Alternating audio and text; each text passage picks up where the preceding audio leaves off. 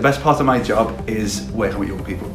Um, every day is different um, and every day has new challenges, but that working with young people and really helping young people to kind of be the best they can be and also to see them kind of develop their interest in the subject that I love um, and to also give them opportunities that they wouldn't necessarily have uh, so beyond the classroom, going to the theatre, exploring theatre um, in practice is something that I get a lot of enjoyment from.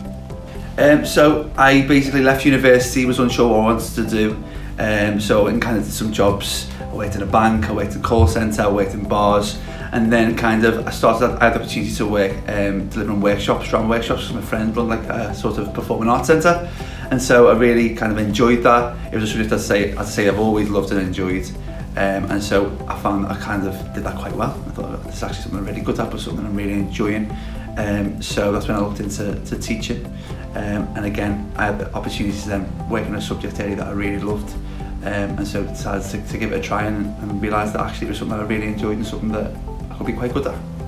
Ah, do you know what? I think I was chatty.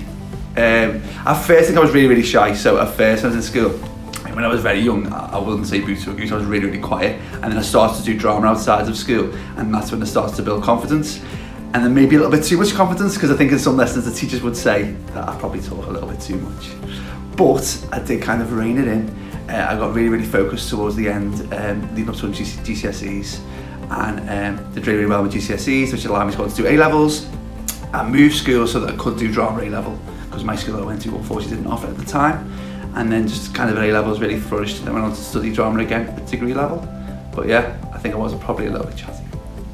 There've probably been a lot of embarrassing teacher moments, but not maybe share all of them. But one that actually happened outside the classroom, which was mortifying really, was I was just walking along through the canteen, minding my own business, didn't realise there was a, a little bit of hash brown on the floor. Uh, as I walked, my foot slipped on the hash brown and unfortunately I fell, but only did I fall, I landed on top of a student, uh, which I then decided to kind of clamber up his face to sort of try and save myself. Uh, what made it even worse was I had him next, I had to teach him next for a full hour and that was a little bit awkward. If I was a student getting taught by me, I think I'd probably think, especially first thing in the morning, God, he's energetic.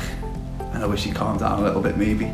Uh, because some of my students obviously come in first thing and they're not the most lively when they first walk in and I think I am early the first thing in the morning so I think they probably think, Paul, calm down. I'm really proud of all my students um, and in particular the things that I'm proud about my students is the fact of how much they develop while they're on the course, how much they throw themselves into the course and how much they develop in confidence and ability. And one thing that I really think demonstrates that is the fantastic results that we got in the summer.